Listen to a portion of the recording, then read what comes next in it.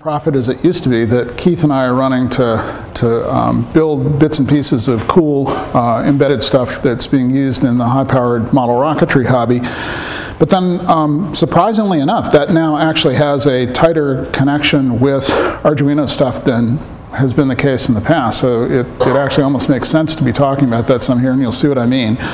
Um, but then there's one other thing that I've been working on recently that I couldn't help throwing in a little bit. Those of you who um, came and heard my main conference talk last year about converting the big milling machine over to so the CNC will recall that I said I was having some slight wigginesses with the little FPGA board I was using to drive the servos. And so this is the first prototype just recently put together of a board that uh, has a big FPGA and a bunch of connectors on it, not a lot else. But uh, this is completely open hardware design, open source implementation of a four channel high power servo control board for use with the EMC2. And as soon as I get back from the conference and from FOSDEM and have a chance to catch my breath a little bit, I'll finish debugging this and if it works out okay, um, as you can tell, I went nuts. It's a four-layer board. It's you know designed for maximum noise immunity and all that kind of stuff. And if it works out okay, I'll be offering those for sale through my website too. But enough about that. If you're curious about this, feel free to come talk to me about it later in the week. Okay, so Altus Metrum. Um, it's been a crazy year. Um, during the latter half of the year, uh, we reorganized Altus Metrum. Instead of just being a .org, it's now an LLC which in US lingo means it's a limited liability company, um, sort of in between a privately owned company and a, and a full corporation. um, and the reason for that was primarily to keep our accountants happy, but it's kind of weird now to have like a real company, Altus Metrum.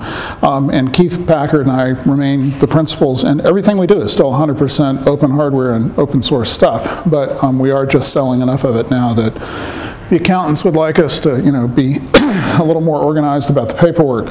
Um, Telemetrum, which is the um, uh, rocket flight computer that we were using last year, uh, many of us in the uh, projects we built in the Rocketry MiniConf, uh, when we showed up here at LCA, the very first uh, version 1.1 boards were brought down here and flown by uh, some of the folks that were involved in that mini-conf. By the end of the year, that production run had sold out. So we now have a couple hundred um, board sets of Telemetrum flight computers out in the high-power model rocketry uh, hobby community, and that's been really cool.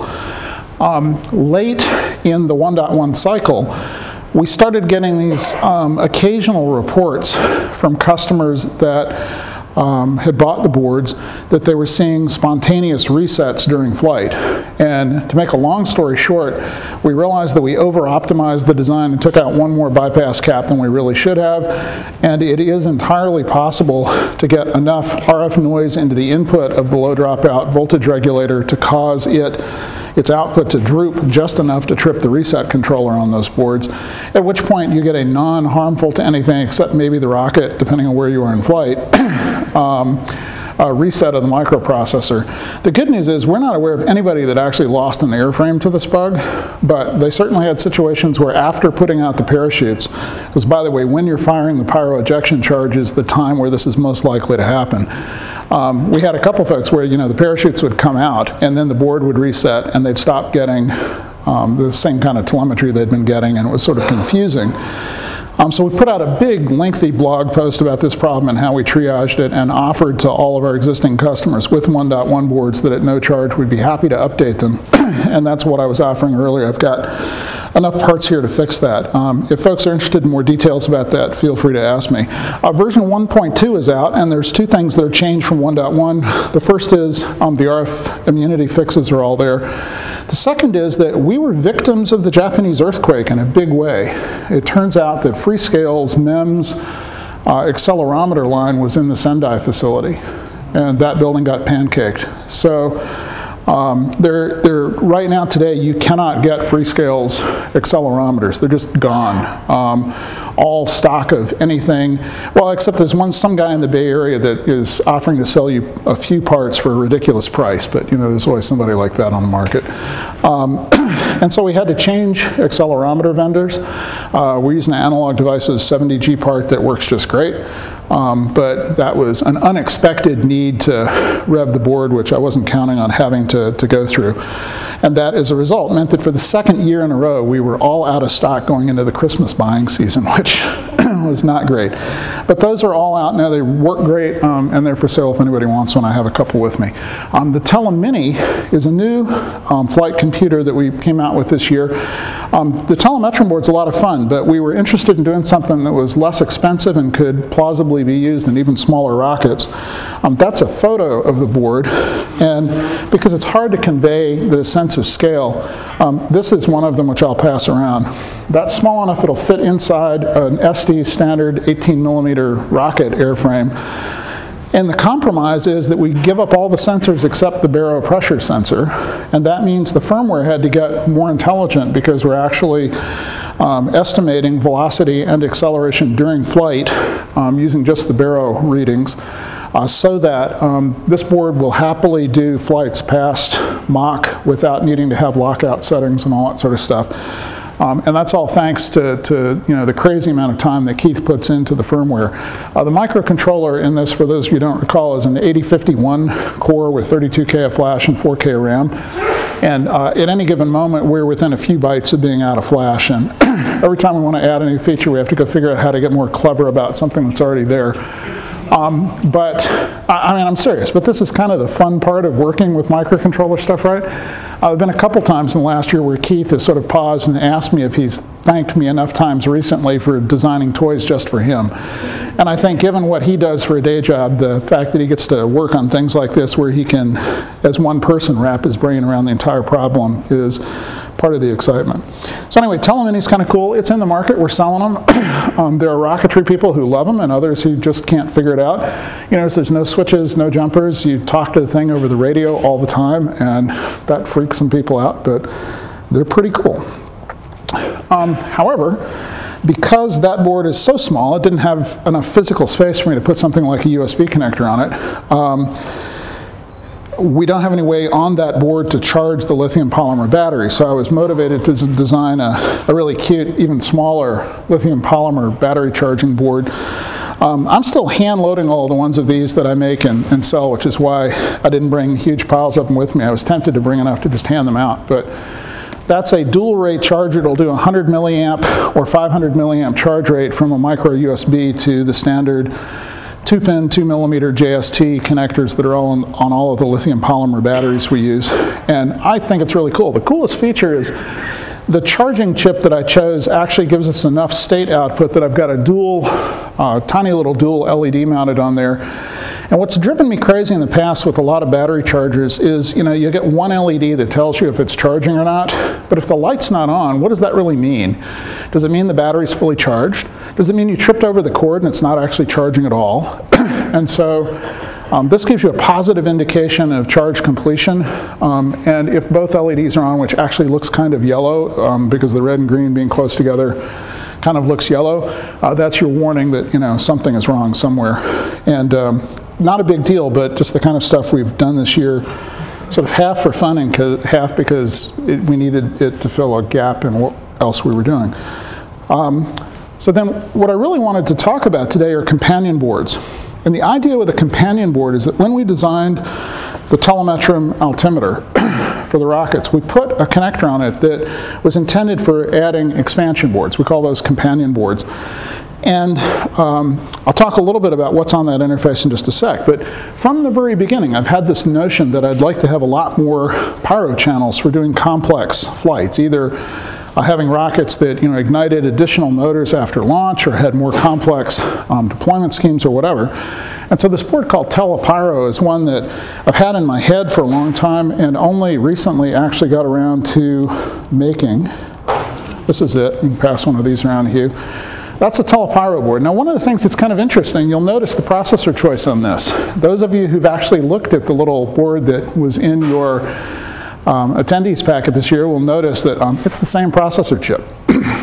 and I was highly amused when I discovered that because now all of you have development hardware for building companion boards. And uh, The flip side of that is that if you want to try out Altos, which is Keith's little um, cooperative multitasking environment with thread support and all this stuff that we actually use as the basis for all of our flight code and companion board code, there is a port of that for the ATmega32U4 that's in our source tree.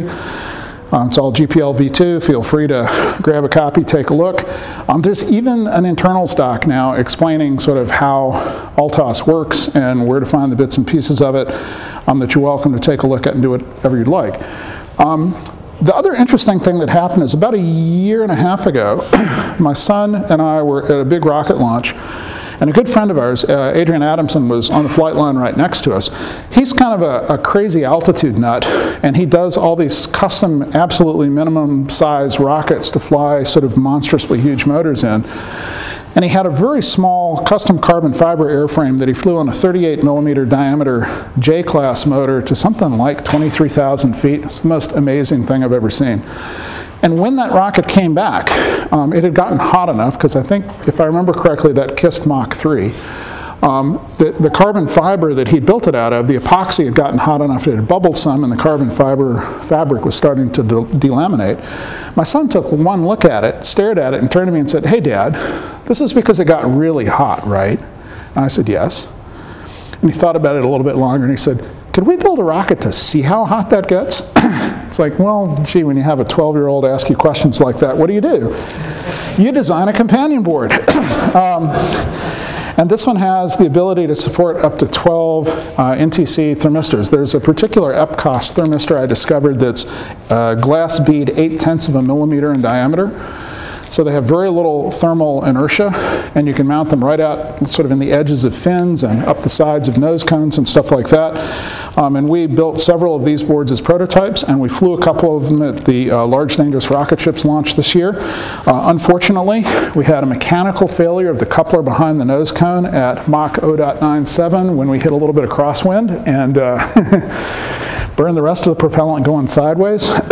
um, so not as much cool data to report as I'd like, but um, this is an example of another board we've done. I think I would uh, eventually, there's been a lot of interest in this from school groups and so forth, so I think eventually that one may you know, get added to the product list. The problem, of course, is I designed it with the uh, thermistor amplifiers very carefully designed and tuned for that one model of EPCOS thermistor, and I don't know that that's what everybody would want to use, so got to kind of figure out what to do with that. But um, those are the two examples of specific companion boards so far that I've designed. For those of you who haven't seen them coming around yet, that's a Telepyro board. And uh, it really is fairly simple. Micro USB on all of these for uh, programming and talking to the uh, ATmega 32U4. There are four dual FETs down here. This one happens to have a three-axis magnetic sensor on it, but not so great for rockets. Don't think we'll fly that again. Um, and uh, I did put the six-pin uh, AVR programming header on there as well because uh, at the time we were building these, we hadn't quite sussed out the flashing over USB thing, and that requires a bootloader, and well, anyway, you understand. Um, so that's Telepyro, and then this is Telescience. Um, very similar electrically, though mechanically quite different. Um, in this case, it's got the 12 um, analog input buffering channels, um, which have op-amp thermistor conditioning circuits on them as well. Um, and yes, I, all of these prototypes are ones that I continue to load by hand at home. All the passives are 0402 size surface mount. Let me tell you, I hate resistors. um, you have to get them right side up. You can't put the black side down. And there are 116 or something resistors on this board. I load them in batches of three, and I'm usually about ready to kill myself or somebody else by the time I'm done. So when you see those, yeah, dear daughter here knows. Um, What's that? What package are the resistors there? 0402? Yeah, 0402s.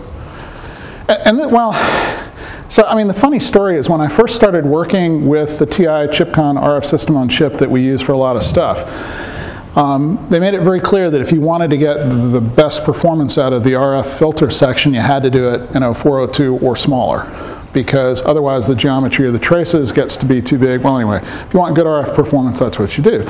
And now on about the fifth rev of the circuit boards, I'm actually getting better RF output on all of my boards than TI's reference designs, which is really cool. So we've got that dialed in and working really well. But um, the consequence of that is I kind of got in the habit of using 0402. And so that CNC FPGA board is the first thing I've ever designed using surface mount parts bigger than 0402 since my original uh, altimeter board talked about at Melbourne LCA, I guess it was, um, which used 1206s. So Yeah, um, there's way too much 0402 in my life, and I would do smaller if I could see them.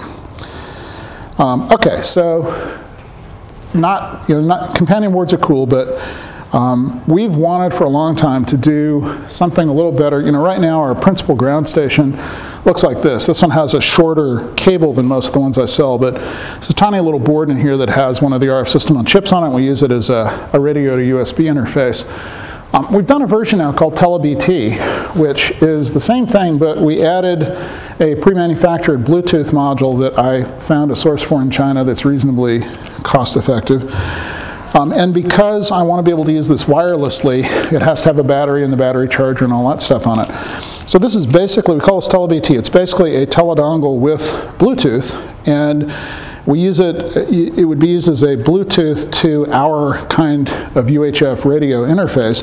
The idea is you'd mount this at the feed point of a little handheld Yagi antenna that you could point at the rocket and then stand there with your Android phone and the app, which is almost working right, um, and use that for tracking the rocket in flight. And of course it can also be used with the Bluetooth that's on a laptop or something. It implements the serial, the SPP, Bluetooth profile, which is the serial port protocol, which means that it'll work for anything except Apple products just fine. Mac OS is okay, but any um, iPhone or iPad things need not apply because Apple is actively hostile to anyone who wants to develop hardware accessories for those devices. I'll be happy to go into more details later if you'd like.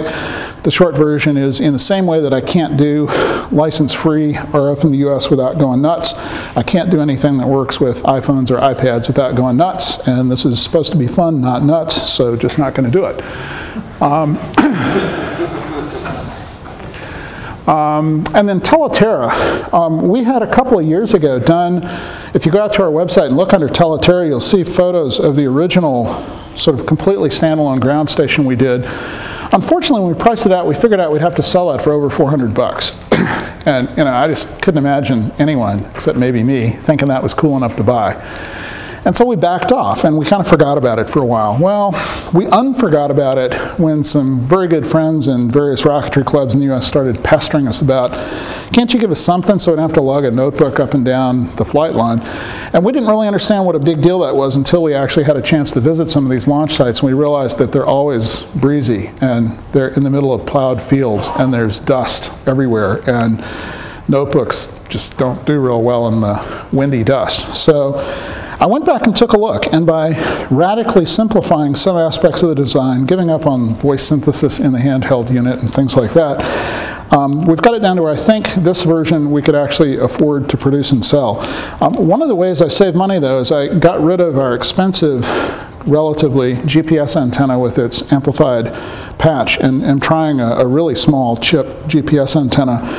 And the tuning on that's a little finicky and I haven't quite got it right yet, but I'll pass that around as well. So again, for us, these are rocketry things, but you know, this is a TICC 11, 11 platform that has GPS and radio link and an LCD and a bunch of buttons. In Australia, you are blessed with a sane, I think, RF regulatory um, process where um, these can be operated without a license under the low probability of interference device regulations uh, in the frequency band of interest. So unlike in the US, you don't have to have a ham radio license in Australia to use this stuff, though I, of course, encourage everybody to get ham radio licenses because I think it's, it's, a brilliant thing to do and a lot of fun. Um, but you know, um, part of the reason I'm showing this here is these are all open hardware designs, all the schematics, PC board artwork, all the source code for everything is all up on our uh, Git repo behind altusmetrum.org. Feel free to go have a look and borrow from it or use things or tell us if you'd like to buy stuff and we'll figure that out too. Um, for those of you who haven't seen them come around, this is what a TeleBT looks like. Um, and so, again, I don't know, if you want details, I'll be happy to talk about these more. Uh, these are all sort of small and part of the, and, and, strangely shaped, and it has to do with the fact that we've, there are these translucent blue plastic boxes from Hammond that we are sort of our signature thing these days. And so all Altus Metrum products that need a box are being designed to fit into one or another of Hammond's cute little blue boxes. Uh, I don't actually have a photo of the new version of Teleterra that's coming out, so you'll have to look at that in person. Okay. So what I originally proposed to John that might be fun to talk about today was um, the fact that we've talked forever about the fact that we ought to do something like a white paper explaining how to use Arduino things as companion boards for Telemetrum. Now, that obviously only really matters to people who own some of our Telemetrum rocketry goodness, but it seems still like it would be a good thing to do, particularly because there are some school groups that have been very interested in designing their own companion boards. And you get into these lengthy discussions with them and you realize that they don't really want to like lay out circuit boards. They want to hack stuff together in the same way that people do a lot with proto shields on Arduino. And for the size projects a lot of these folks are working on, why not? Makes sense. so it turns out that on Telemetrum, the companion port is a little 8-pin connector that happens to have SPI, uh, serial peripheral interface bus um, with one uh, chip select line at 3.3 volt levels. And it provides both the regulated and unregulated power from the telemetrum board that could be used by the companion. As of version 1.0 of Altos, we radically changed the over-the-radio telemetry protocol to use a fixed packet size one byte of which is used to determine which packet type this is. And a consequence of that is that we were also able to add, finally, support for companion boards that during the power up process, there's a little protocol that runs over the SPI bus where we interrogate the companion board, find out not only what it is, but how many telemetry channels it would like to offer up and how often it would like to have those sent in the RF downlink. And then those just automatically get folded into the telemetry that's being sent down over the radio. so you can design an arbitrary companion board, tell us that you've got eight telemetry channels you'd like reported once every five seconds, and that just happens. Um, as of this morning, uh, Keith has finished documenting that protocol in supposedly human readable text, though I haven't read it yet. Um, and as soon as I'm done talking, I'll go back and push the updated copy of the docs out to the repo so that you can find them. Don't look for them right now because they aren't there yet. Um, but with that, anybody who would like to do that, I think now has all the information they need to do it. Um, and again, if you have any questions, feel free to ask about them. So what's this thing called Teleshield about? Well, you, how many of you were at the Arduino MiniConf last year when I gave a little talk about the greenhouse project we were working on? Yeah, great. Um, my wife has a greenhouse behind our house in Colorado. and um, you know, it's got a vent fan because in the middle of summer in Colorado at high altitude, the sun is just every bit as harsh, if not worse, than it is in this part of the world. And it gets really hot in there, and you have to run a, a fan to keep things from, from wilting and burning up and dying. And uh, at the edges of the seasons, it gets really cold. and so there are heaters that run to do um, the opposite. Um, and my son got interested in hydroponic things and was talking about wanting to be able to program time, you know, have program timers to turn pumps on and off and all that. So um, being the kind of dad I am, I turned that into an Arduino Shield project. and uh, that's been sort of his project, and so it's you know, stumbled along fairly slowly. Uh, we did get to the point where the basic project is complete and seems to do all the things it's supposed to. The relay control stuff's all working and so forth. One of our objectives all along, though, was that um, mom would love to be able to do things like find out what temperature it is out in the greenhouse without having to walk out there. and so from the beginning, we talked about using one of the circuit boards from a teledongle um, to, to hook things up. But, um, well, yeah, right. So this was the original plan, little SparkFun level shifter board to take the 3.3 volts out of the teledongle. This is the guts of a teledongle. And that connector at the top is the companion connector. And the idea was to interface that to um, serial or SPI ports, whichever, Oh, by the way, and on the companion port, while I talk about it as being SPI because that's the protocol that we use on Telemetrum for talking to companions, those same pins can be used as async serials. So if you're willing to change the firmware on the CC1111, you could also do async over that port. So the plan was going to be to do either async or SPI to the Arduino. But then it's like, well, yeah, but that's kind of a mess. Um, so I ended up designing a shield. and um, as I said, I kind of went nuts. Um, I use one of the TI TXS Magic level shifting chips, which means that I don't actually care what the voltage level on the attached Arduino is. It just works. Um, it's got one of our style UHF radios implemented using the CC1111 RF system on chip that we use on everything else. Attached to that is a micro USB interface and our standard debug and companion headers. So once again, this shield board uh, the right way, can be used, uh, powered off of USB, just like a teledongle or a, a tele-Bluetooth thing. But then we also uh, put the Bluetooth interface on it that we had discovered and are using on our tele-Bluetooth product. And then um, just because Keith said he needed it for something he was working on, uh, we stuck a micro SD socket on so that uh, you've got some data storage. And that is literally the first prototype, um, which I got working about a week ago. And because I'm all over making a fool of myself in public, I'm going to turn this on. So what I have right now is uh, I borrowed a lithium polymer battery from Grant because I forgot to bring any with me. This is one of the SparkFun 3.3 volts Arduino Pro 328s or something with the shield uh, stuck on top of it and jumpered to just take its power off of there. And then if I, what do I have to do? If I do that, and then open this up, and drag it over.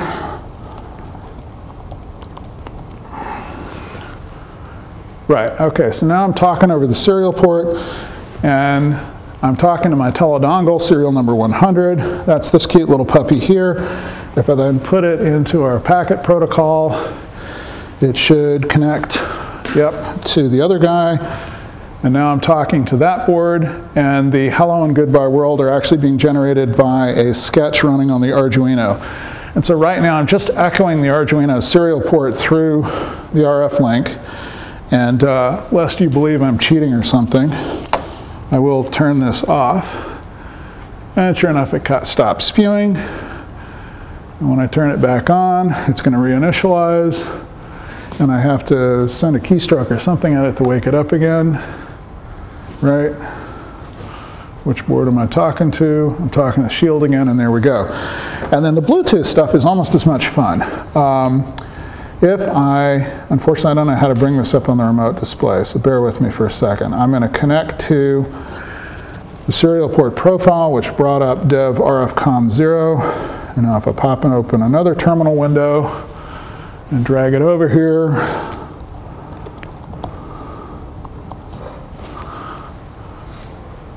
Oh, give me a break. Why is it that half the time when you bring up dev RFCOMM 0 it does this and the other half the time it doesn't? Let's try a disconnect on that and reconnect and see if that clears it. I'm, you know, I guess I should be amazed that this stuff works as well as it does, but there we go, okay. So now there we are um, talking over Bluetooth. And the really amusing part is that um, the firmware running in the little shield board right now responds to whoever last had its attention. So if we come over to the UHF link, it's redirecting there. and um, yeah, thanks. Stupid people tricks, right? So talk about stupid people. About the time I got to this point, I went, oh, great. So the demo I ought to do is we ought to upload a new sketch to the Arduino while I'm standing there. And then I realized that I did the wrong thing with the reset lines, and I need to cut one resistor out and put a FET in so that we can actually pull the Arduino's reset line from our processor. So we may or may not get around to that this week. I'll certainly make that change before I put these into production, if we do in fact put them in production. Um, but I just, I don't know, somehow the notion of being able to reprogram the Arduino over either Bluetooth or a theoretical 30 mile range UHF link, um, I don't know, just seems cool to me. So that's Teleshield. Um, and uh, by the way, um, a few minutes, 15 maybe being generous, before we left for the airport to come down here, I took another three prototype teleshields out of the skillet uh, after hand loading and reflowing them. And uh, this morning I cleaned them up and uh, started adding the through-hole parts to them. If we get those turned on, if any of you would like to play with one while you're here this week, uh, feel free to poke me and I will be happy to let you do that. And uh, if you talk to me sweetly enough and cash is involved, you can probably even take one home. So, um, yeah, you know, I'm, I'm, what, what, can I say?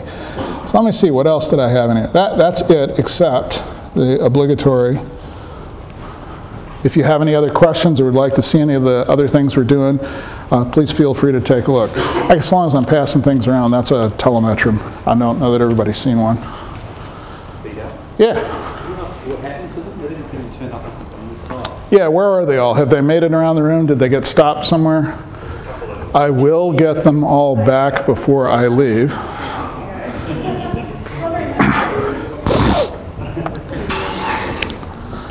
So yeah, if you'd like to look at the shield, I'll even pass that around. In fact, I'll pass it around running. Yep, I think we're about out of time. If you have other questions, I'll be around. Feel, please feel free to come up and say hi and ask about them, and I'll be happy to tell you anything you'd like to know. Thanks. Yep.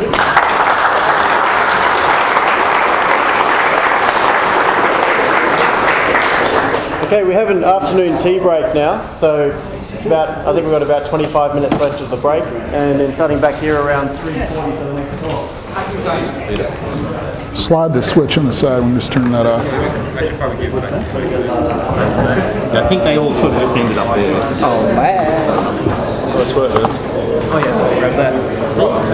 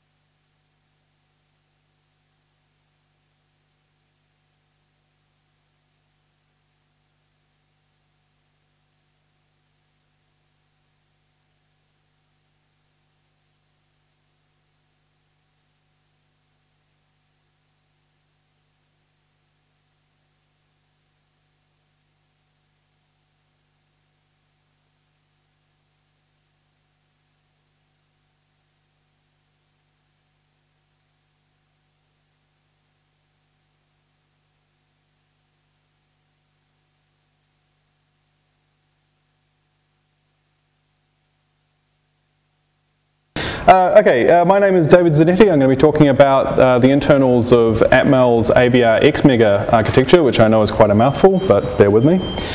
Um, with the addition of the I.O. ref pin to the standard Arduino shield format, it opens up the possibility of having shields which can adapt automatically to whatever the voltages that your uh, base Arduino is actually running at. Um, so for example, this, this means that uh, with a couple of level shifters on your shield, you can now easily deal with a, an Arduino that's based on 3.3 volts or 1.8. Now the other thing this does is open up the possibility of having Arduinos that are not based uh, purely on the original Mega architecture, which is mostly limited to 5 volt. Most of the Arduinos out there that are 5 volt. Um, instead, allows you to use microcontrollers that are, uh, have different voltages and, and different operating capabilities. So one of the uh, possible microcontrollers you could use is an extension of the Mega platform that uh, is already at the core of all of the Arduinos. Uh, the XMega is, is essentially a souped up Mega. It uses exactly the same tool chain uh, as the Mega that you're already used to in uh, all of the Arduino stuff. It's buried under the Arduino IDE a little bit, but it is all there. Um, and uh, this means that if you're looking for a platform that's, that's got a bit more capability, but you don't want to stray too far away from uh, the tools that you're already used to, then the is kind of useful in that regard. This is also true if you start getting into some of the external programmers uh, and uh, debug tools. Um, if you're familiar with the AVR Dragon, uh, which is a JTAG and does occasional bits of serial, for debugging or the ISP Mark II uh, and the JTAG ICE. Um, those are all also capable of dealing with XMegas and more importantly it uses the same um, software toolchain on, on the Linux side of things to interface with those uh, programmers. So you're not, you're not really changing a lot in terms of the environment that you're dealing with on your uh, development, um, you're mostly just changing the chip environment. And I guess the other good thing about the XMega is that they're quite a lot faster. Um, they're between three and four times faster at the same voltage level compared to a Mega. Uh, since this is the same CPU core, it ends up being three to four times faster than, than uh, a Mega in real terms, so it's, it's fairly comparable. There are a, a, few reasons why you possibly wouldn't want to choose an XMega. Um, all of the very low level code um, in any of your projects, um, this is down sort of at the level where the libraries where uh, that the Arduino IDE provides, all of those unfortunately will need to be rewritten. Uh, they have uh, comprehensively redesigned a lot of the way the peripherals work. the rest of this talk is going to be all about peripherals really. Um, so unfortunately all of your low, low level code is going to have to be rewritten, but the high level stuff, if the Arduino IDE supports uh, an XMega chip, you'll still be able to write uh, digital write and it will just work. Um, so it, it's really just the, the libraries themselves lower down that need to be rewritten. Uh, the other problem is this is a 3.3 volt part. They do not make a 5 volt version of it at all. Um, it It, um, it will accept 5 volt in its I.O. pins and not release magic smoke, which is really good. Uh, but uh, that 5 volt tolerant I.O. thing just means that it won't explode. That's it. It doesn't mean that it'll actually work. Uh, so yeah, that's a bit of a concern. Uh, it's a surface mount only part. They are not producing any PDIP versions. You can only get this in surface mount packages. Uh, I know surface mounts are a bit scary to, to some people who have just sort of started soldering, but um, there are some techniques you can use to make it easier, so, so don't be too afraid of the surface mount parts. Uh, they are not as hard to use as it seems. Uh, debugging for them uh, is not in a, a, terribly great state with free software.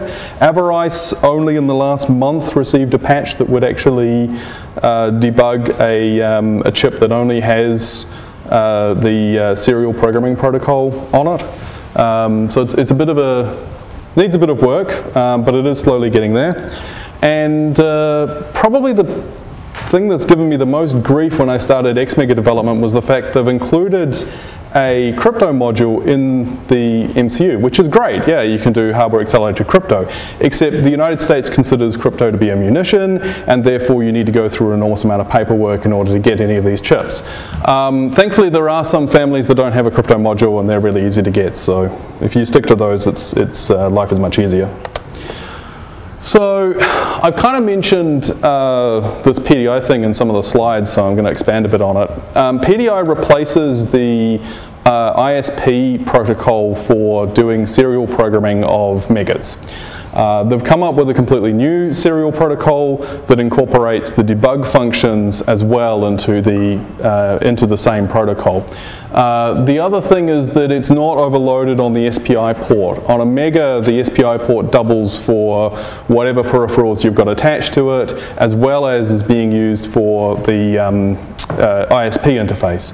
On an Xmega, instead, it's, it's got a dedicated pin for its data and uh, the clock is just overloaded on reset. So you don't have to worry quite so much about whether your peripherals are going to be interacting badly with your external uh, programming interface, which is quite good. Um, this does mean that you need to be a little bit careful about your design. You can no longer apply the, the usual rule for megas of just having a pull up on the reset line to make them go. Um, since the Xmega has an internal pull up on its reset line, uh, you don't actually need to worry about the pull up at all. But more importantly, because the clock is being sent over the reset line, uh, you've got to be very careful about making sure there's no stray capacitance or uh, any kind of latency introduced into that line compared to the, the data line. So there's a few design considerations you're just going to be aware of. Uh, clocking. Probably one of the things that frustrates me the most about the Mega is the fact that if you want to run it at its full clock speed, you have to have an external crystal. And in order to make it use an external crystal, you have to set fuses. And the fuse system with Megas is, is not particularly pretty. Um, it's very easy if you write the wrong fuses to end up locking yourself out of the chip because there are a bunch of lock bits for application protection and there are a bunch of bits to actually disable the programming interfaces as well. Uh, thankfully, you don't have to do that on an Xmega anymore. Uh, the full clock speed of the chip uh, is available by simply adding uh, a few lines of code in your, uh, the beginning of your application and away you go. Um, the other thing that's quite nice is that uh, if you want to run a Mega at full speed, you definitely have to have an external crystal. You can't get away with relying on any kind of internal oscillator they're limited unfortunately to 8 megahertz, whereas on an Xmega you can actually run them at full clock speed entirely without any external components which is really, really quite nice.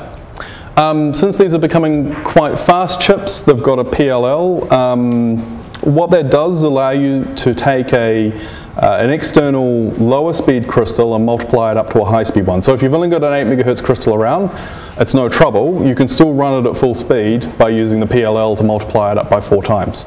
Um, this is useful also because some of the hardware actually runs at um, two or four times the system clock, so it's quite a lot faster as well. Um, another useful feature is it's got external uh, clock failure detection. If uh, the crystal isn't there uh, on a Mega, what happens is your chip doesn't work and you have to find a rescue clock. Uh, on a, an X Mega, it goes, oh, this is not very good, and switches back to the 2 megahertz internal oscillator and gives you an interrupt to say, you know what, things didn't really work out, but here, have, have some chance to recover it. So it's kind of good, and you can do dynamic clocking, but that's not very exciting. Uh, the largest change of all uh, to the hardware design. And the reason why you need to redesign, uh, rewrite all of your driver code is that every single peripheral is now represented by a struct. Um, rather than having a collection of randomly named registers that sort of have a pattern to them. Um, instead, you just have a, a struct that represents every possible instance of that particular piece of hardware. So if you've got four serial ports, you will just have four instances of this struct. Now what's useful about that is that it makes it considerably easier to abstract the hardware resources that you've got on the chip away from the way your code's written. It's something that the Arduino IDE does quite a lot of. Um, so when I started porting uh, my interrupt-driven serial code, it became kind of clearer that um, I could abstract it a little bit further into my own struct that contained right at the top there uh, a pointer to the, the real hardware and then the resources that I wanted to associate with it. Now, this abstraction, as I say, occurs all throughout the IDE code. In fact, a lot of the IDE libraries are spent hiding all of the, the details between different microcontrollers. Um, and this is actually a much cleaner way of doing exactly the same thing. So uh, it, it's kind of useful. Um, to, to take advantage of that, you just need to um, assign uh, the hardware reference up there as USART F0 uh, into whatever particular abstraction layer you want. And then when it comes to writing your interrupts, um, you can simply pass a reference to your abstracted serial port and it has full access to the hardware. So in this case we're doing a um, data register empty uh, interrupt, which is, works the same way as it does on a Mega. It fires constantly so long as you don't have anything in a serial transmit buffer. Um, on a Mega, you'd have to write a chunk of code that was specific for that very serial port. On an XMega, you can just say, oh, look, there's some generic handler, please just handle it. And then it still has direct access to the hardware. So those abstraction features are particularly useful um, it, it, becomes very apparent at the moment that you want to port code between different XMega members that you're really just changing very small numbers of lines of code because the rest of it is just references to structs, which is, again, quite nice. So, uh, everyone likes blinky LEDs. Um, the ports on the XMega haven't really changed a huge amount. Um, one of the things that's a bit weird about a Mega is that if you've got an input pin and you want to have a pull-up on it, you stick one in its output register even though it's an input, uh, which is a bit weird. Um, instead on the XMega they've cleaned it all up and now there are explicit pull-up modes for each pin and it's a bit easier to read because it says pull-up which is a lot nicer. Um, there are also a, few new modes for pins, including explicit pull downs, there's a weak bus keeper, and there's also various wide OR and AND modes, which are all kind of neat and fun. Uh, and large, lastly, because um, a lot of the time you're going to be, uh, particularly if you're implementing blinky LEDs or you're implementing any kind of bit banging protocol, uh, quite often you're just going to be toggling individual pins. And so the, the port struct includes these bitwise registers for out and for direction, um, which makes it a lot easier to uh, set bunches of pins in particular ways and to toggle pins. It's, it's all uh, reduced down to a single write uh, to a register instead of a read modify write, which again improves in performance. And I think it does make the code a little bit easier to read. So. Uh, and there's an example of doing that. Uh, port interrupts. Um, there used to be, well, on the Megas there's a, a direct hardware interrupt. Usually if you're using a Mega for anything interesting, you lose almost all of those direct interrupts for other, other peripherals. But there's usually at least one that's free. Um, those direct interrupts have all gone away, and instead what was called a pin change interrupt on the Mega is now just simply referred to as a port interrupt. Now the pin change interrupts on a Mega are annoying. They, they simply fire an interrupt anytime a pin changes state. They don't tell you how it changed state. They just go, oh, it changed state and you can work this out for yourself.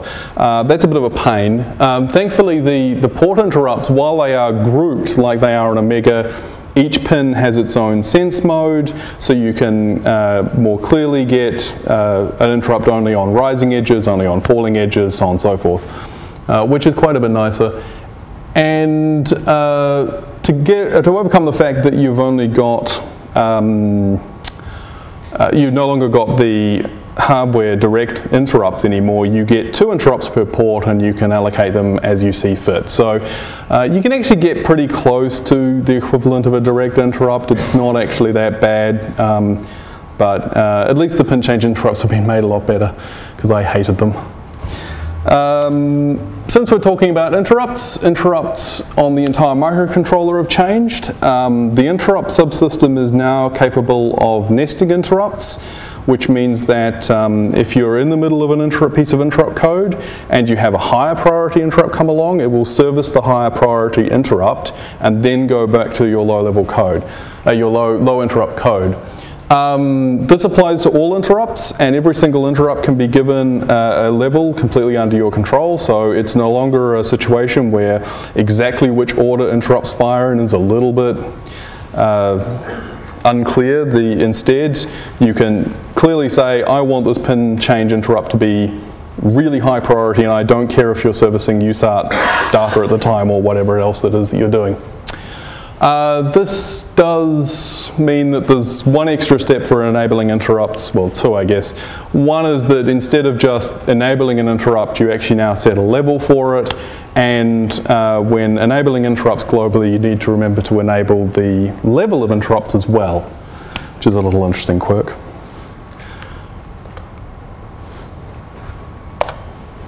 Hmm.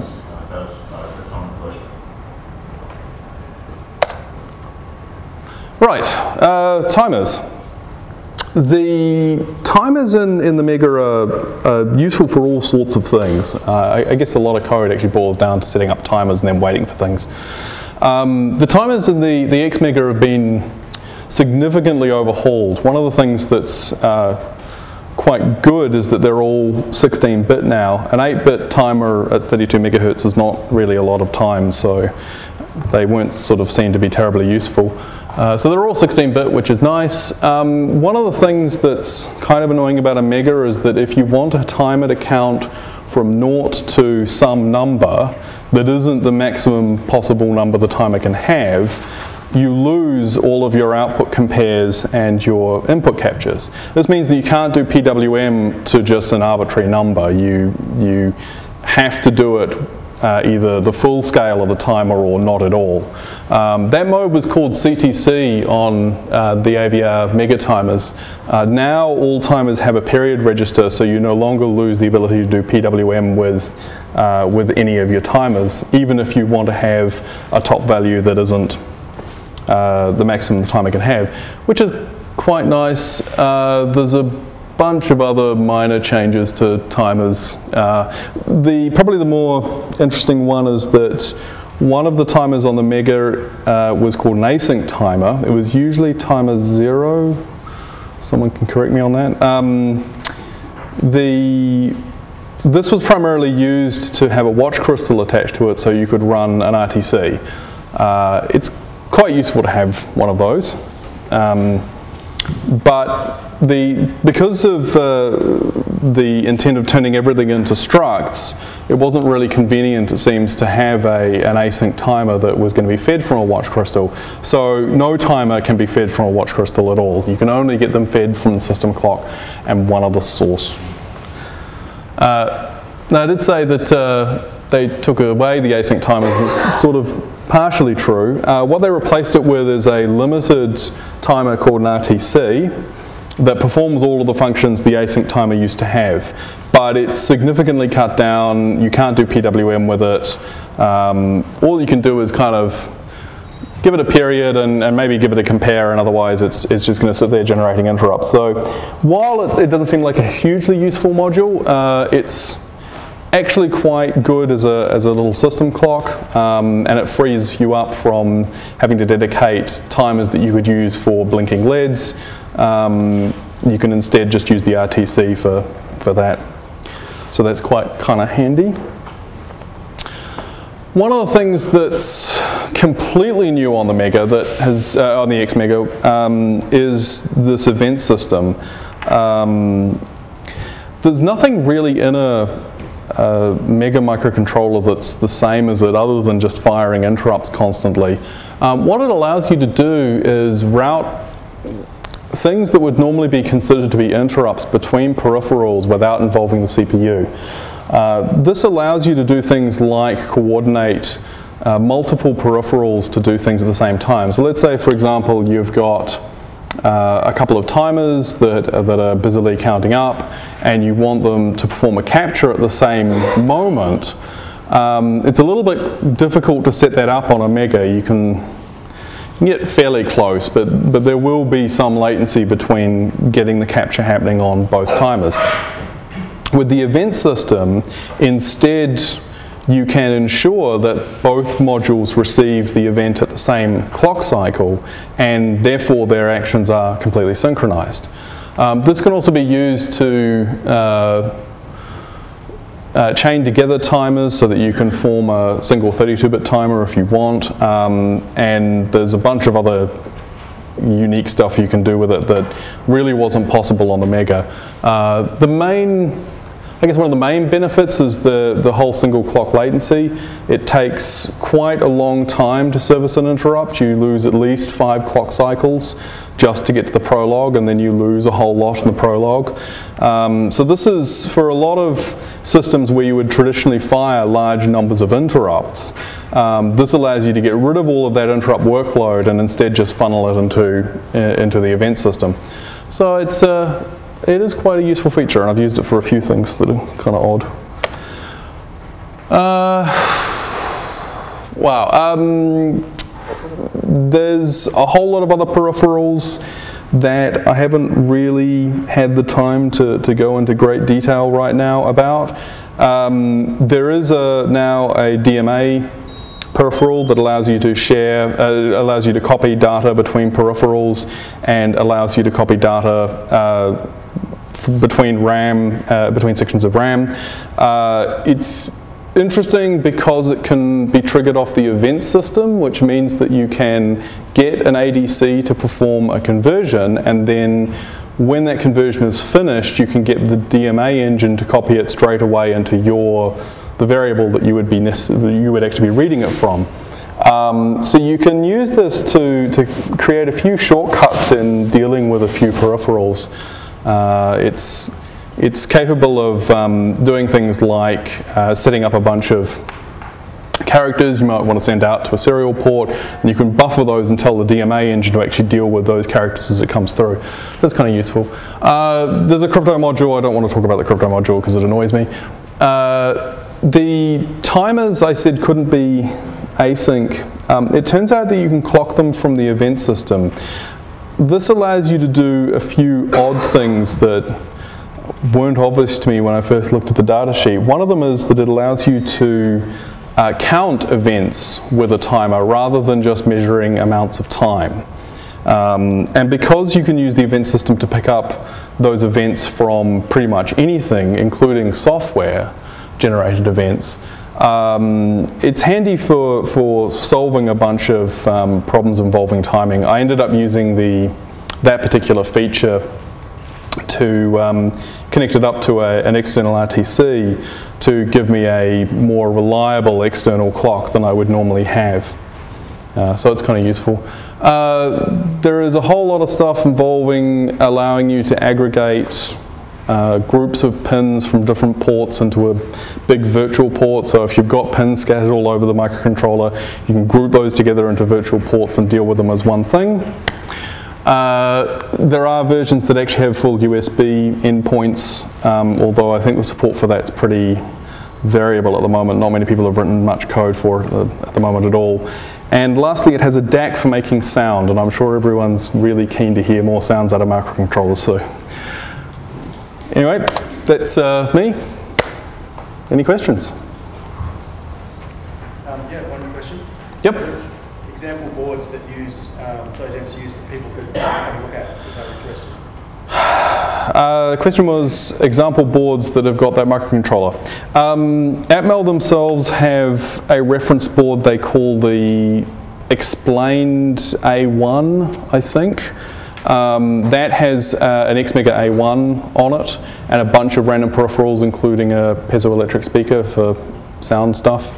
Um, that's probably the quickest way to get a reference board but um, sadly no one has really been terribly interested in making an Arduino clone yet with one. I'm hoping that people will start to think about making Arduino clones with Xmegas.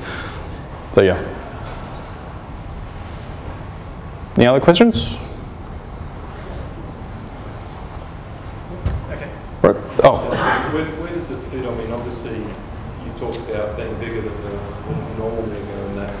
At some point, you get to a point where you might be talking about a different type of CPU or whatever. So, so where, where do you see this fitting, I guess? Uh, the question was, where does this fit into the grand scheme of microcontrollers? Um, the, the obvious leap above this one is ARM, um, but that's an entirely different environment. And uh, in that environment, you're, you're kind of no longer dealing with microcontrollers in some way, you're dealing with, with real CPUs.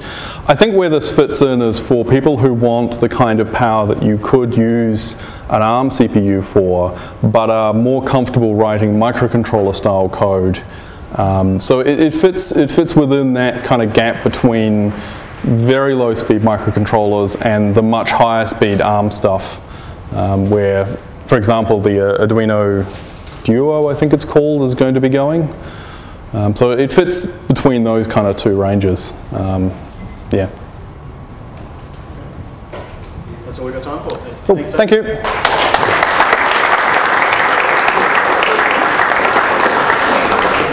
Great, thank you. Most welcome.